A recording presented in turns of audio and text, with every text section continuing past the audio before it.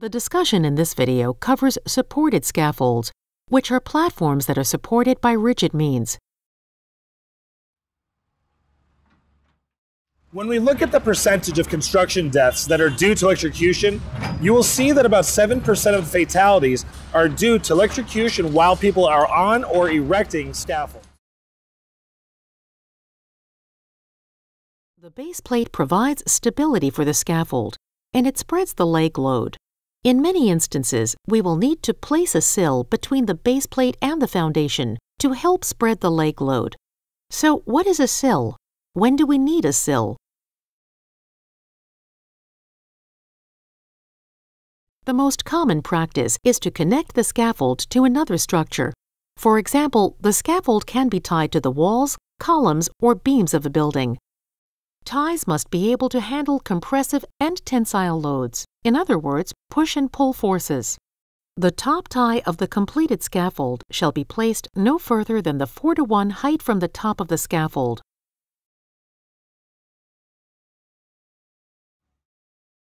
In most cases, the guardrail system will be supplied by the scaffold manufacturer.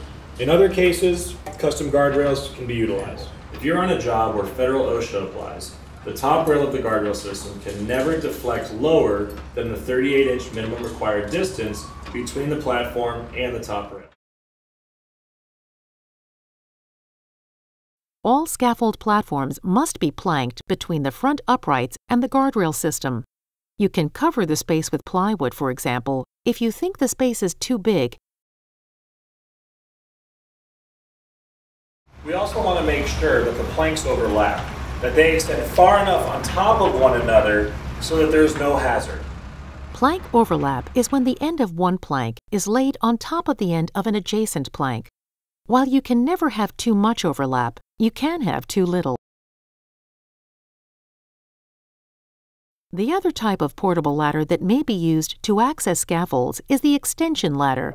You need to make sure the top of the ladder extends at least three feet above the platform, so you have something to hang on to while you get off the ladder onto the platform. A hook-on and detachable ladders are other common types of ladders that are frequently used with supported scaffolds. The ladders are installed in a vertical position and attached to the scaffold with hooks and brackets.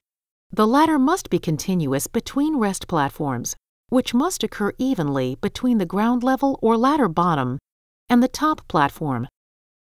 In other words, you should see a place for you to get off at least every 35 feet to rest. For example, make sure that there isn't a pipe or another obstruction that you might hit your head on while you're climbing. The first step can never be more than 24 inches above or below the platform you are accessing it from. The next type of access that we have is the integral prefabricated scaffold access frame. Within the frame, there are equally spaced rungs. You may find that the rungs between frames may be a little more than 12 inches apart, but never more than 16.75 inches apart.